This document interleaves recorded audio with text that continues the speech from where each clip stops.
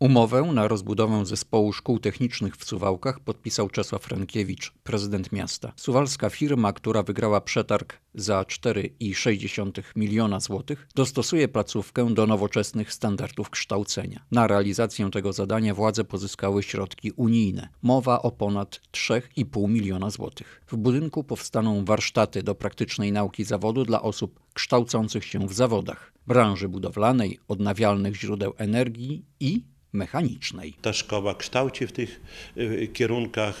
Chcemy właśnie, żeby ta baza szkoleniowa była jak na najwyższym poziomie, żeby absolwenci ZST mogli z powodzeniem później znaleźć sobie y, pracę, to zgodnie z kierunkiem mm, kształcenia. To nie jedyna szkoła zawodowa w Suwałkach, którą czeka rozbudowa. Plany modernizacyjne dotyczą także zespołu szkół nr 6. Przy placówce powstanie obiekt warsztatowy do praktycznej nauki zawodu, gdzie będą uczyć się przyszli mechanicy oraz stolarze. Na tę inwestycję władze Suwałk również pozyskały dofinansowanie. Wynosi ono ponad 6 milionów złotych. To wszystko ma wpłynąć na poprawę jakości kształcenia zawodowego w mieście. To jest takie współdziałanie szkół zawodowych i, i miasta Suwałki z pracodawcami. Realizujemy szereg różnych projektów, innymi staże, stypendia e, dla uczniów szkół, również staże dla e, nauczycieli przedmiotów zawodowych rozpoczęła się budowa dwóch budynków mieszkalnych, które realizuje miejski ZBM TBS w ramach programu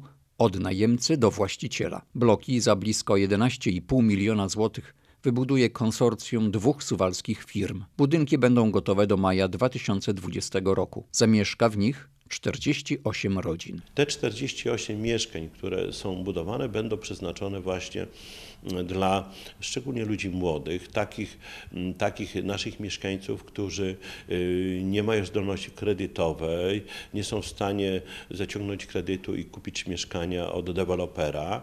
To jest taka oferta właśnie dedykowana y, dla tych osób średnio zamożnych. Formuła od najemcy do właściciela polega na stopniowym dochodzeniu do własności. Oczywiście, żeby przystąpić y, do, do, do tego programu, trzeba wpłacić zadatek 15%, minimum 15% do ZBM-u, TBS-u, a później y, w ciągu 20 lat spłacać to mieszkanie, y, oczywiście ten kredyt, który w imieniu właśnie tego lokatora zaciągnie ZBM TBS. Budynki są budowane pomiędzy ulicami Reja i Pułaskiego. Oba będą miały po sześć kondygnacji, windy i mieszkania o zróżnicowanym metrażu od 42 do 63 m2. Mieszkania będą oddawane przyszłym najemcom w tzw. Tak stanie deweloperskim.